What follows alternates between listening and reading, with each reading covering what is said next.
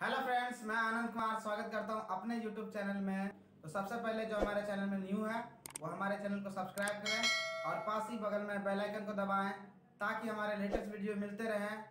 तो चलिए शुरू करते हैं।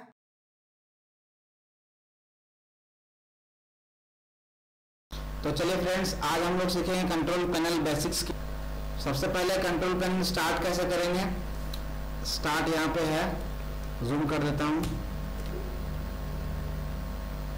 ये हमारा स्टार्ट है, इसमें क्लिक करेंगे। यहाँ पे हमारा कंट्रोल पैनल है। इस पर क्लिक करेंगे तो ऐसे हमारा कंट्रोल खुलेगा। तो यहाँ से व्यूज़ बाय आपका सिस्टम ऐसे रहेगा। ठीक है? तो इसमें कंफ्यूज नहीं होइएगा। व्यू बाय यहाँ कैटेगरी है। इसको लार्ज करके देख सकते हैं स्मॉल करके। स्मॉल करके देख सकते हैं। तो कंट्रोल पैनल बहुत बड़ा है। ठीक है? इसको कवर करेंगे हम लोग दो तीन पार्ट में। तो सबसे पहले कुछ क्वेश्चन ही कवर कर पाएँगे, ठीक है? जैसे हमारा सबसे पहला है backup and restore backup and restore से क्या होता है? कि हमारा यदि कंप्यूटर फॉर्मेट करते हैं तो बैकअप डेटा बना के रख सकते हैं सेटअप सेट अप बैकअप करके, ठीक है? तो इससे क्या होगा? हमारा बैकअप बना रहेगा, जब कंप्यूटर फॉर्मेट करेंगे, उसके बाद हमारा यूज़ में आएगा। और सेकंड हमारा है डेट एंड टाइम क्या करते हैं? यहाँ से डेट एंड टाइम चूज़ कर सकते हैं। या फिर यहाँ कॉर्नर में हमारा घड़ी है, इस पर क्लिक करेंगे। चेंज डेट एंड टाइम करेंगे। ऐसे आएगा।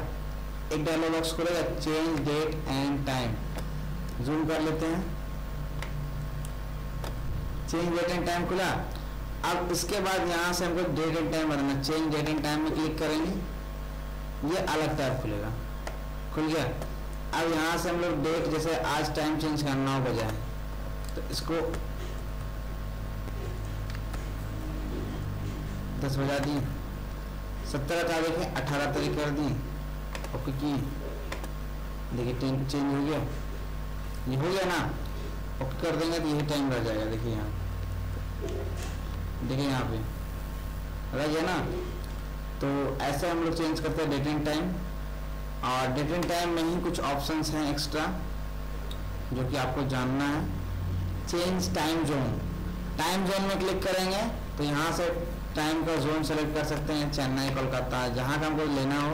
तो फ़िलहाल हम लोग ऐसे ही रहने देते हैं default change date and time में फिर से क्लिक करते हैं। ओपन कर लेते हैं चेंज कैलेंडर सेटिंग इस पर क्लिक करेंगे तो इतना बड़ा ऑप्शन खुलेगा। ठीक है? तो ये हमारा डेट का आ गया शॉर्ट डेट हमारा किस तरह रहेगा, उसका नोटिफिकेशन है। और लॉन्ग डेट किस तरह रहेगा, उसका नोटिफिकेशन है। यहाँ है डेट फॉर्मेट डेट फॉर्मेट में क्लिक करें, यहाँ शॉर्ट डेट चेंज कर सकते हैं। इस तरह रहेगा। पहले ईयर फिर मंथ फिर डे और लॉन्ग डेट में यहाँ रहेगा। पहले डे फिर मंथ फिर डे ठीक है? इस तरह कर सकते हैं ऐसे। और यहाँ आपको बताया गया है कि किससे क्या होता है? डी और डबल डी से डे और ट्रिपल डी और फोर डी से day of week M for month Y for year ठीक है? और अगला है when when a two digit is entered interpret it is year between 1930 से दो तक रहेगा। और फ़र्स्ट डे ऑफ़ वीक सप्ताह का पहला दिन क्या होगा? संडे हम लोग का मंडे स्टार्ट होता है तो मंडे कर सकते हैं ट्यूजडे स्टार्ट होगा ट्यूजडे कर सकते हैं। और चेंज करके ओके कर देंगे। अप्लाई और ओके यदि हमको गड़बड़ी लगता है तो यहाँ देखिए। रीजन एंड लैंग्वेज में एडिशनल सेटिंग यहाँ देखिए, गड़बड़ी लगता है तो अप्लाई ओके कर देंगे। फिर से चेंज कैलेंडर सेटिंग में जाएँगे। और यहाँ से आप रीसेट कर दीजिएगा। यस